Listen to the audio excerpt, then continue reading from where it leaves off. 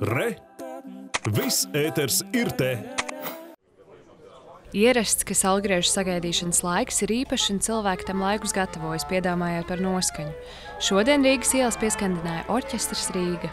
Tas ir nosl sezonas noslēgums, kas nav bijusi viegla sezona, ļoti piepildīta. Tas jau īstenībā mums pat ir tāda kā tradīcija, ka mēs parasti nospēlējam zāļu, zāļu tirdziņu, viens otram novēlam priecīgs jāņas.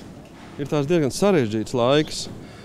Patiesībā varbūt vairāk kā citām reizēm nākās piepūlēties, lai rastu prieku dažādos veidos, lai atcerētos par prieku, bet, bet to vajag darīt. Gadu no gada mēs te spēlējam, un šķiet, ka, nu, ka mēs jau paši sev arī to svētku noskaņojumu tādā veidā radām. Salgriežu laiks iezīmē arī kopā būšanas prieku, ko šogad pēc ilgāka pārtraukuma izbaudīs Rīgas amatieru kolektīvi, jau rīt pulcējoties pie mazās ģildes.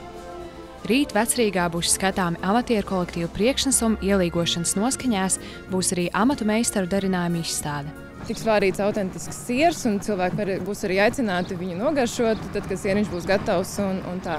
Cik es zinu, balsis arī dziedās līgotnes, tā kā varēs arī piedalīties un arī dziedāt paši līdzi. 22. datums ir ļoti nozīmīgs, jo pēc divu gadu pārtraukuma ir tradicionālais Rīgas zāļu tirgus. Turklāt Jāņu sagaidīšana šogad būs abos Daugavas krastos.